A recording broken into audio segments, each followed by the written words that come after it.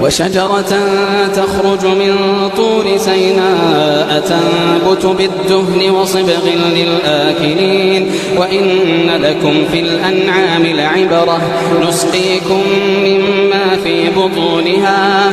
نسقيكم مما في بطونها. لكم فيها منافع كثيرة. ولكم فيها منافع كثيرة ومنها تأكلون. وعليها الفلك تحملون.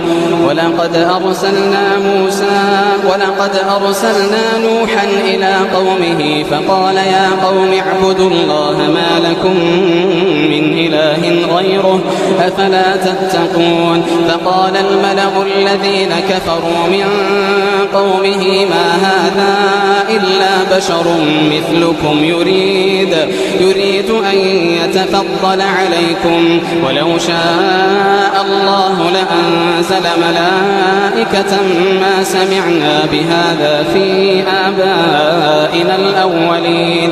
إن هو إلا رجل به جنة فتربصوا به حتى حين.